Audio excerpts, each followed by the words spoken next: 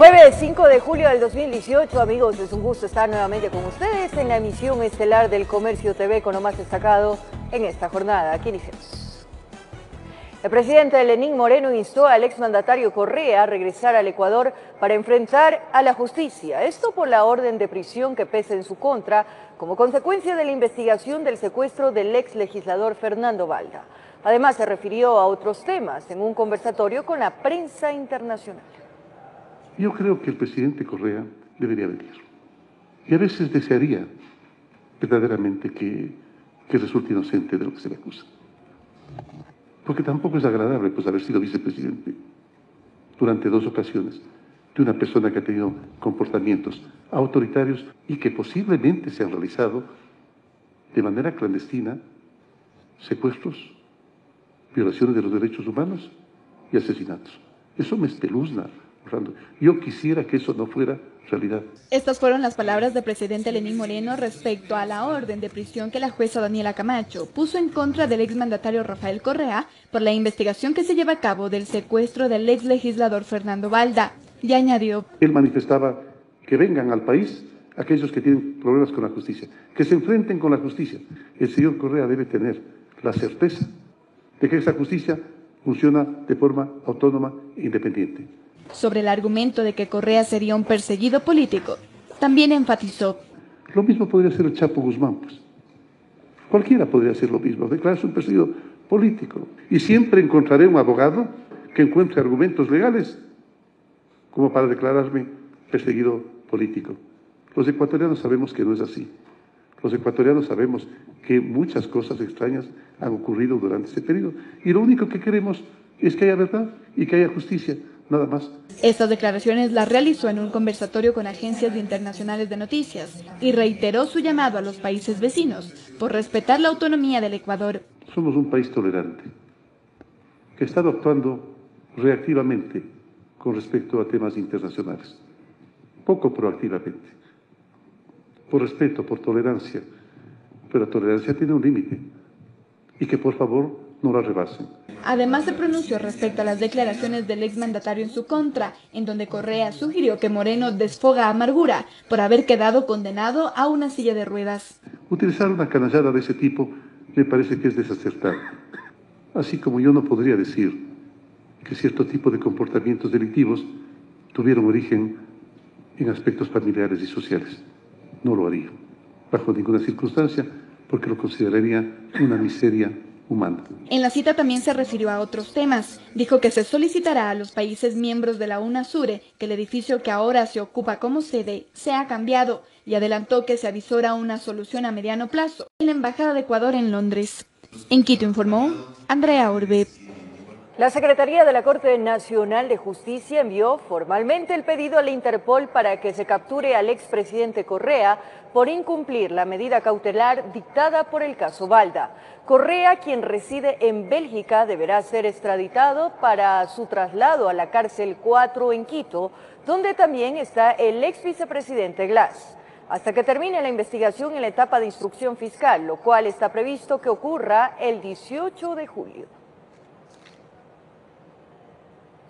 Simpatizantes del expresidente Correa realizaron una marcha para rechazar la orden de prisión preventiva emitida en su contra por vinculación en el caso Valda. En la Plaza de Santo Domingo se encuentra nuestro compañero Javier Rosero para contarnos los detalles.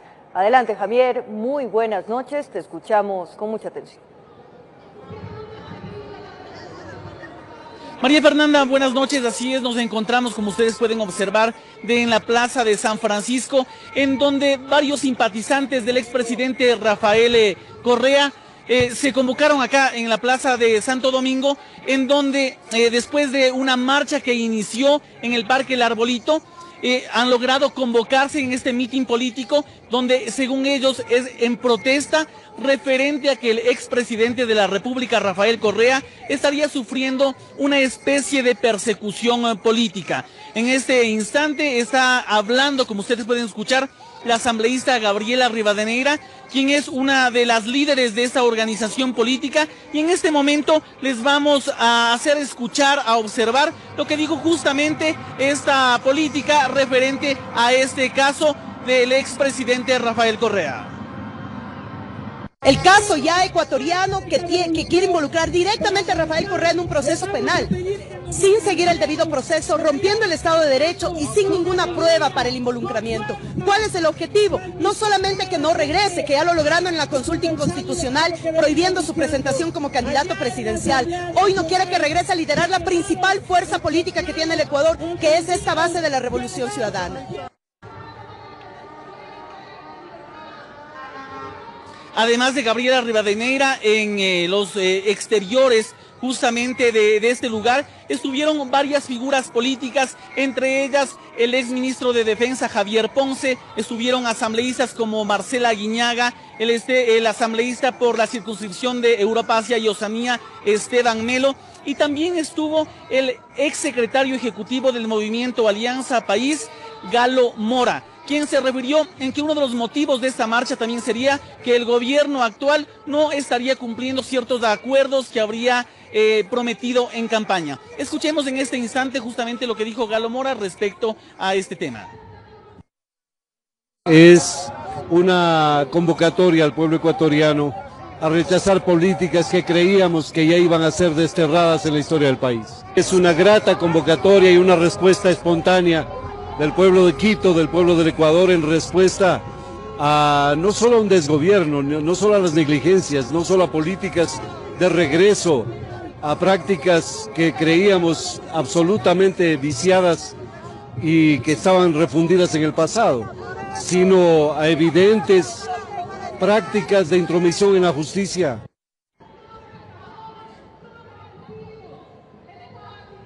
María Fernanda, eso es lo que nosotros podemos informarles al momento.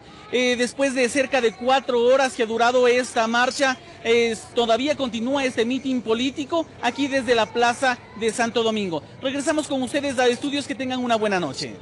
Muy buena noche también para ti, Javier. Gracias por traernos esa información desde el lugar de los hechos. Pero por otro lado, en medio de un intenso debate en la Asamblea Nacional se aprobó una resolución en rechazo a las declaraciones del expresidente Correa en contra del presidente Moreno por su discapacidad física.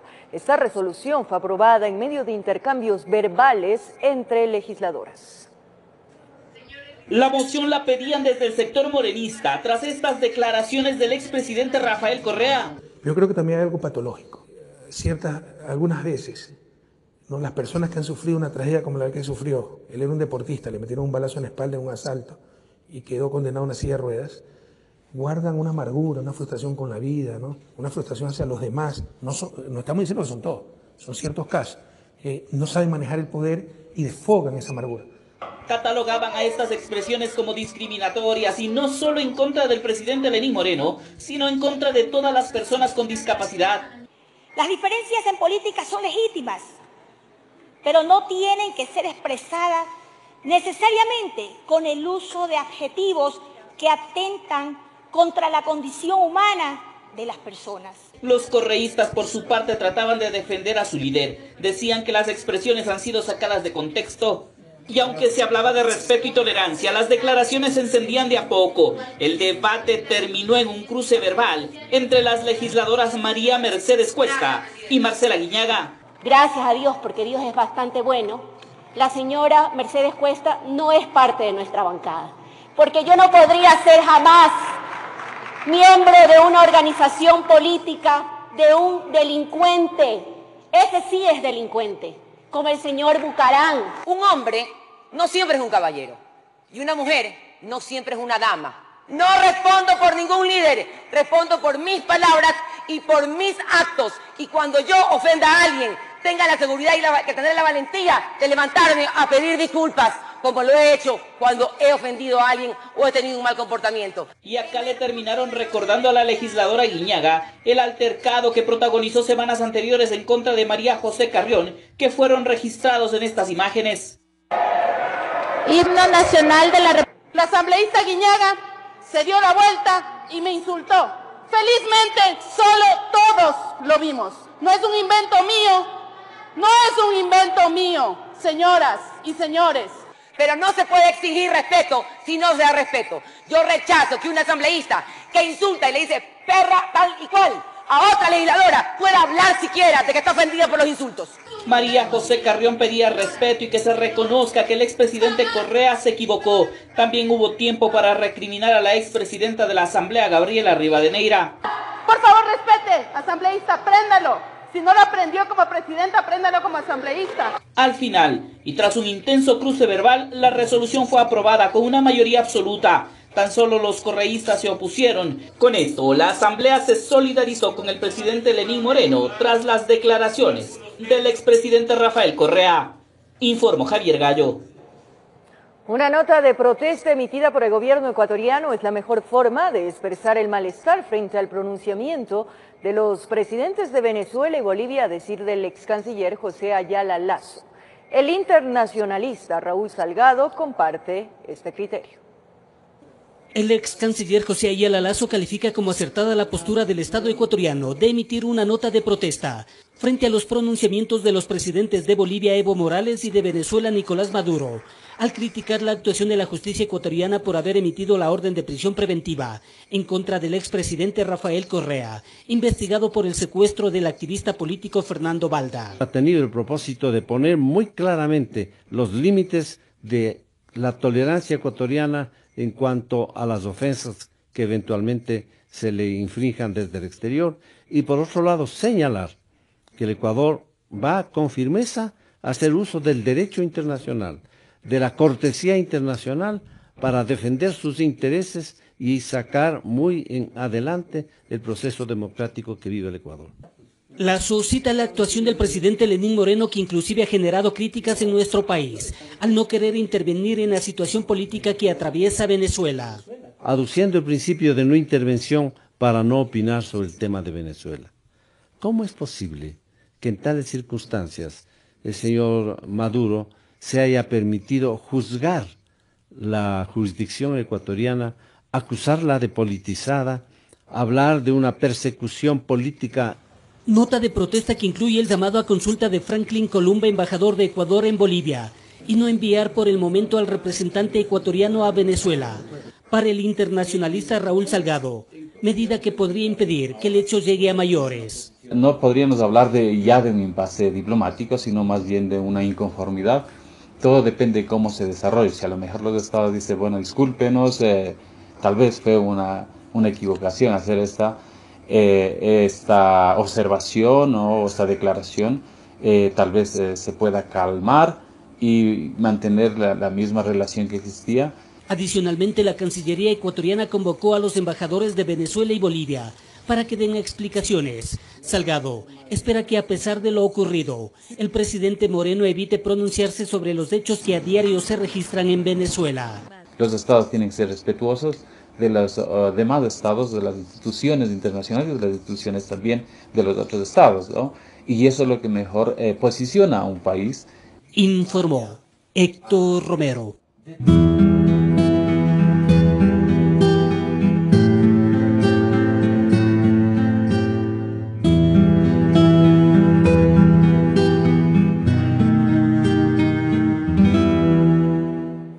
Así es, este viernes serán repatriados los cuerpos de Óscar Villasís y Katy Velasco. Se preparan capillas ardientes en Quito y en su natal Santo Domingo de los Ángeles.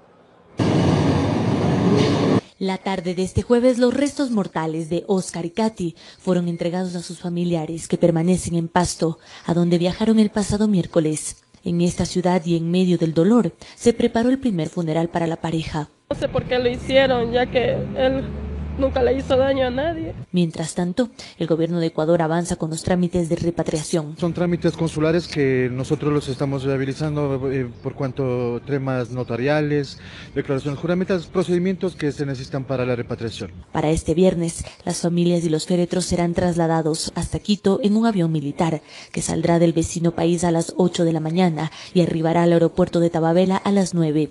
Allí, el canciller José Valencia y la ministra de Justicia Rosana Alvarado darán el recibimiento. Los féretros serán trasladados hasta el Campo Santo Necrópoli de Quito, en donde se prepara una capilla ardiente. En Quito ha habido muchas personas que nos han ayudado, han estado con nosotros y también tenemos familias que nos van a estar esperando. Ahí permanecerán un par de horas y al mediodía partirán hacia su natal Santo Domingo, en donde serán velados hasta el domingo que se realizará la sepultura. Vamos a velarle en la casa, van a poner, vamos a poner carpas, vamos a cerrar la calle. Este miércoles, después de realizar las experticias forenses, Medicina Legal y Fiscalía de Colombia confirmó que la identidad de los dos cuerpos hallados en la zona fronteriza de Tumaco corresponden a los ecuatorianos Oscar Villasís y Katy Velasco, secuestrados en abril pasado por el grupo de alias Guacho. La identidad se confirma por dactiloscopia. Los compatriotas habrían sido asesinados entre los primeros días del mes de mayo, según la información que les fue dada a las familias, con quienes también el gobierno de Colombia se comprometió a continuar investigando para determinar las responsabilidades de este atroz crimen, informó Carolina Basante. Y tras conocer que los cuerpos encontrados en Colombia corresponden a la pareja secuestrada, sus familiares en Santo Domingo de los Áchilas reaccionaron con tristeza. Cada familia se prepara para los funerales que se realizarán por separado. Concernados por el fatal desenlace que tuvieron sus seres queridos, encontramos a los familiares de Óscar Villasís y Katy Velasco. Desesperados y destrozados, sabiendo la noticia, con mucha pena, con mucho dolor, que hemos perdido un miembro familiar. Esperaba que ella estuviera viva, tenía una esperanza, pero lamentablemente no fue así. Ella, la mataron. Apuñalando con, con cuchillos los han matado, así dicen allá en Colombia. Ya los han matado hace dos meses. En casa de la madre de Oscar se reunieron los Villasís. Aquí dicen que lo velarán para que esté por última vez rodeado de su familia. Nunca le gustaba estar solo, le gustaba estar reunido en la familia y lo vamos a hacer aquí porque nos estaban dando en otro lado para velarlo, pero se va a hacer la voluntad de, de mi hermana y, y la última voluntad de mi finado hermano con lágrimas en los ojos, recuerdan los momentos que vivieron y que por obra de la narcoguerrilla ya no podrán repetirse. Mi hijo siempre iba a verme pasando un día, pasando dos días, iba a verme en la casa. Él es el que me ayudaba para la comida, para la medicina. En la cooperativa Venceremos, en cambio, permanece la familia de Katy. El ambiente de dolor es evidente al recordar que la cuarta de siete hermanos regresará en un ataúd. Y yo pensaba en ella, tan alegre que yo venía, o ella iba con todo cariño, ella me abrazaban con todo cariño.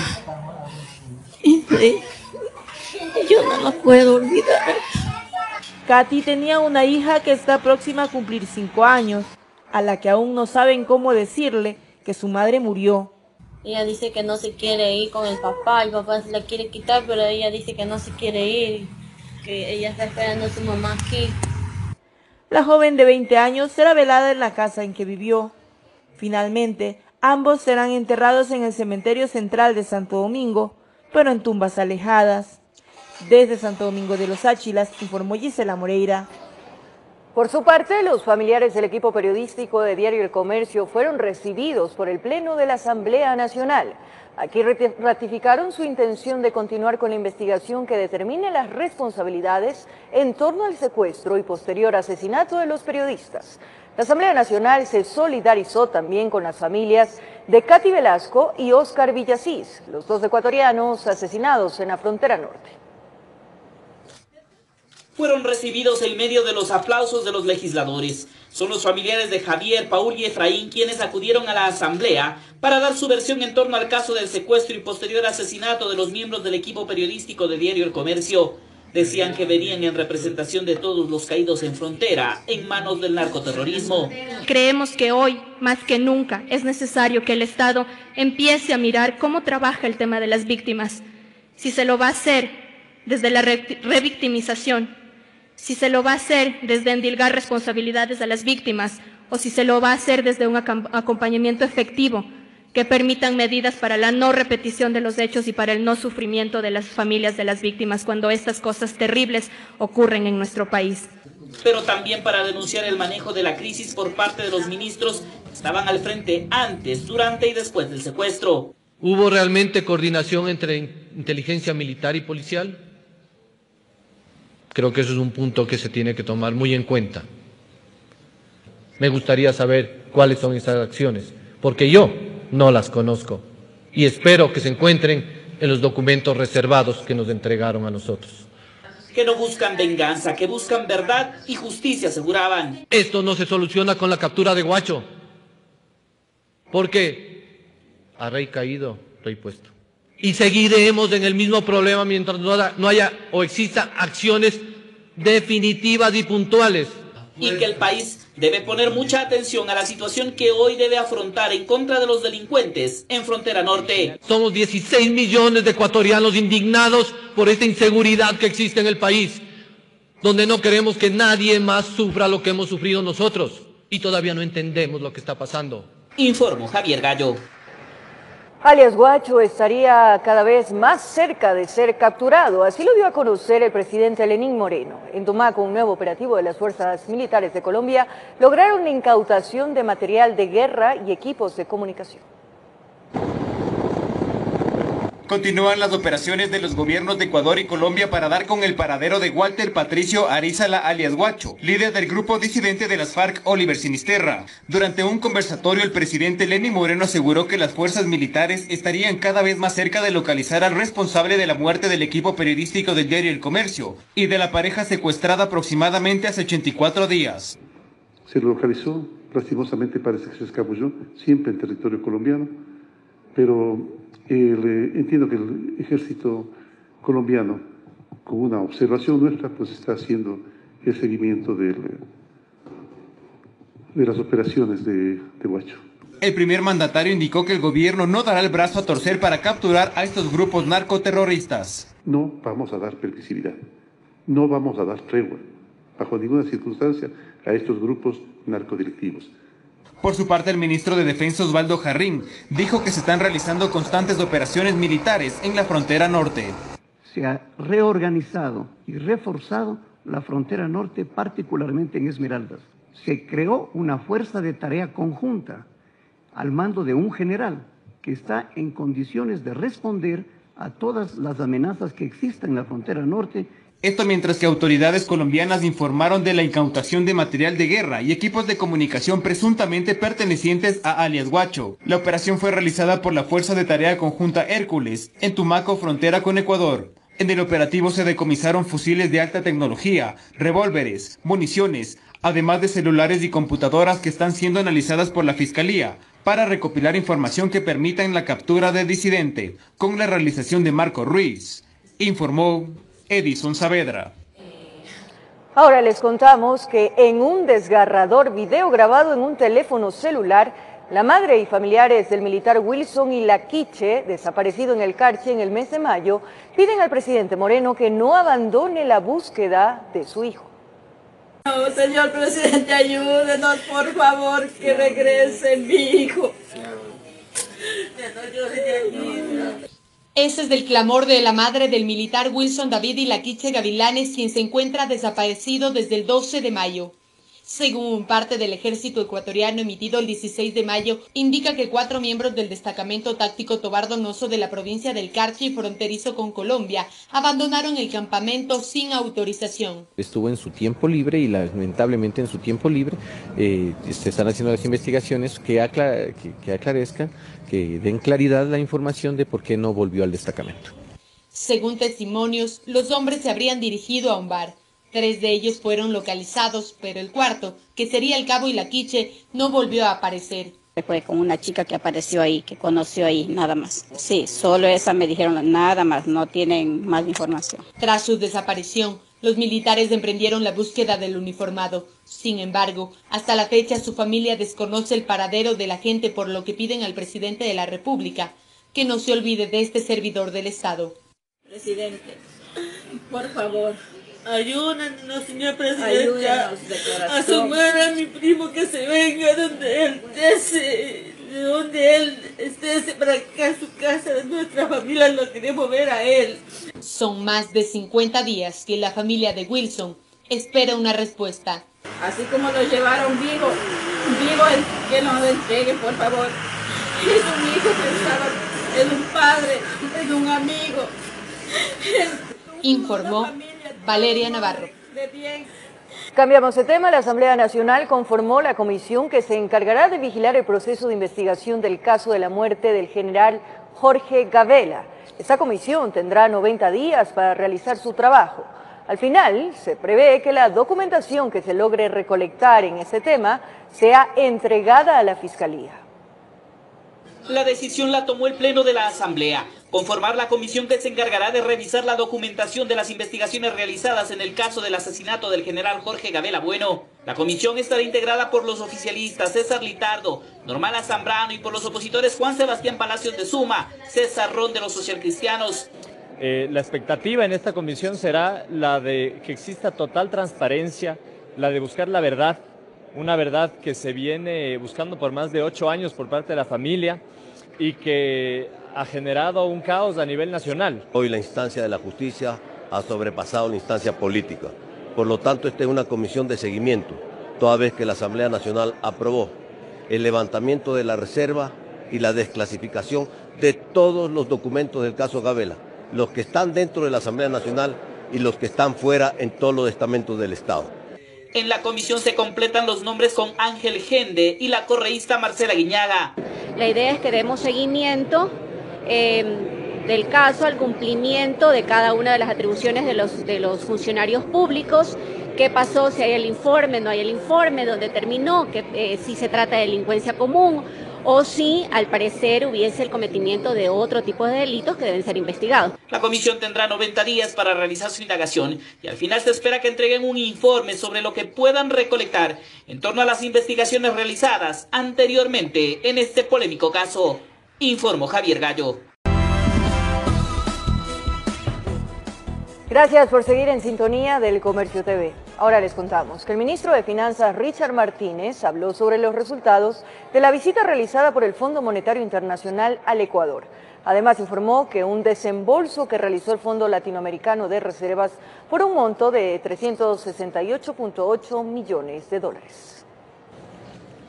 Tras la visita de una delegación del Fondo Monetario Internacional al Ecuador en su primera misión bajo el gobierno de Lenín Moreno, el ministro de Finanzas Richard Martínez, en una cita con la prensa internacional, destacó que a diferencia de otros momentos, en esta visita se vio transparencia de las cuentas, pero también que se observó el camino y la trayectoria del balance fiscal con mejor escenario. De lo que hemos eh, conversado, eh, se observa eh, con positivismo que la ley de reactivación, la ley de fomento productivo tenga elementos que nos conduzcan hacia eh, una estabilización de las cuentas fiscales en el mediano plazo y a la reducción del porcentaje de deuda PIB. Respecto a las cifras de crecimiento económico en el país, dijo que es natural que este año haya una disminución en sus estimaciones preliminares, pues se encuentran, dijo, en un proceso de optimización del tamaño del Estado. Existe una transición ordenada hacia este proceso de optimización y a una intervención más activa del fomento productivo. Martínez reiteró que el país se ha endeudado de una manera agresiva en los últimos cinco años,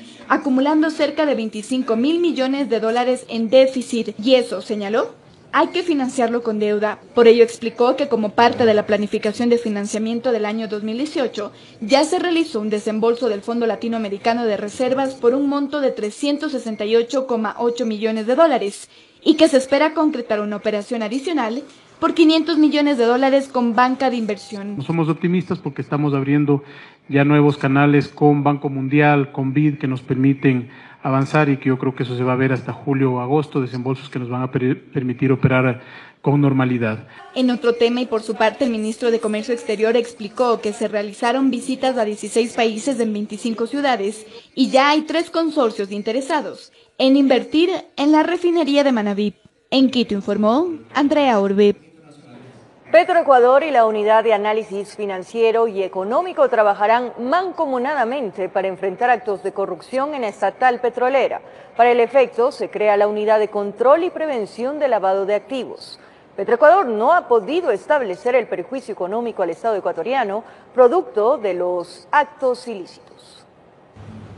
Varios actos dolosos como inacción registrada en el estatal Petro Ecuador durante los últimos años y en especial en el anterior gobierno, a decir de Carlos Tejada, gerente general de Petro Ecuador, impiden establecer cuál es el monto económico como perjuicio al Estado ecuatoriano. Es un monto muy apreciable que no eh, aventuraría a dar un monto grande porque es, bastante, pero realmente eh, le, le, dejaron a, la empresa eh, muy golpeada, muy debilitada en sus estructuras.